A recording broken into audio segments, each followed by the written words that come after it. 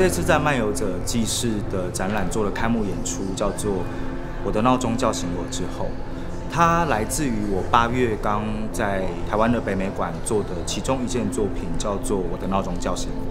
在那个原来的作品当中，是一个表演者在美术馆空间里面拿着闹钟睡觉，而闹钟在五分钟之后会开始作响，而这位表演者被闹钟叫醒之后，他继续移动到别的空间继续睡，所以它是一个睡跟醒、睡跟醒的一个循环式的一件表演。这一次我想做的就是。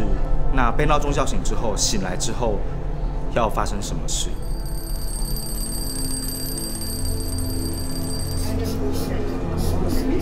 在这一个作品里面有六段不同的小段落，都是从醒来之后，然后他在思考一件事情。三公 tweet。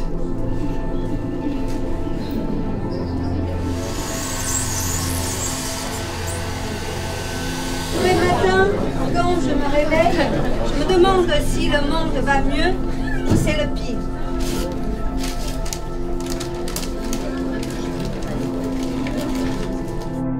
譬如说，另外一位表演者，他会说的是：“我每天早上醒来之后，我在想这条路叫什么名字。”所以。透过六段不同的表达，然后去串成一个人们在醒来的时候如何思考自己醒来的那一刻，跟他跟周围所有事情的关系。我觉得每一个人每天眼睛张开，或者是意识张开，但眼睛还没张开，到最后完全醒来的那一段过程是非常私密的，那一个很私密的。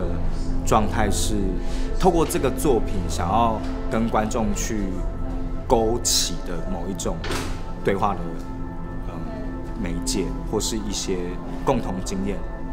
When I wake up, I feel lucky because I'm still alive.